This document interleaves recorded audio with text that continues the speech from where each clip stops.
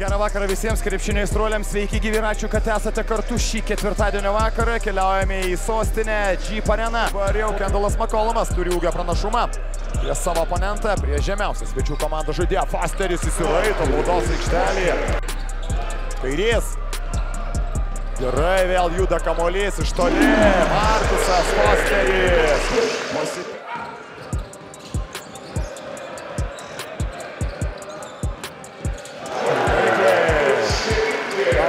Leckas. Tiesiai Jacksonui rankas atiduotas kamuolys, klysta Vilniečiai, Šiauliai kontratakoje. Paslykas iki galo. Kamuolys krepšyje, Markusas Fosteris lieka.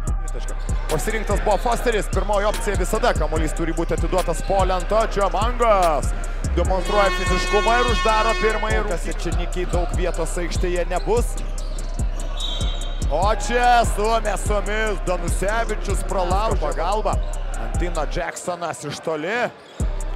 Sima kamalį Fridriksonas kontratakoje Vilniečiai Margeris Normantas.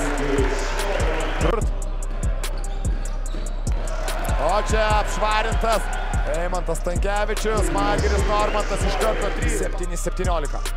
Stankevičius.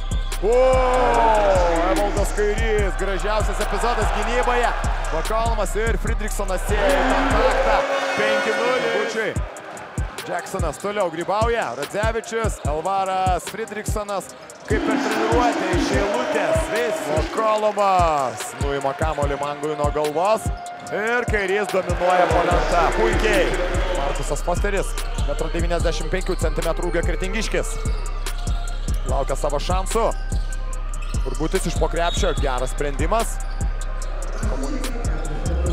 Litvinas. O taip, šaltakraujiškai Litvinas iki des. Blokuoja Radzevičius, paslyko metimą kontratakoje rytas. Fridriksonas ir Čenikė. Jacksonas Pekovičius, Stankevičius. Iš viršaus Pekovičius, gražus derinukas du paaiškės, praktiškai antrosios vietos savininkė. Reguliariajame sezone, na, o gegužės ketvirtąją teks atlikti greičiausiai formalumus prienuose. Gegužės šeštoji, paskutinis mačas. Kairys. Jos klaidos riba, Danusevičius išvengia pražangos ir Evaldas Kairys antrą kartą tokį žmėtinį kartą. Uleckas plačiai, Normantas. Adas Šimonis iš kairio krašto meta. Pekovičius Sabeckis. 2 prieš 2 nesužaista iš viršaus. Pekovičius Nova su Sabeckiu štai yra. Ir iš provokuotų pražangų taip pat.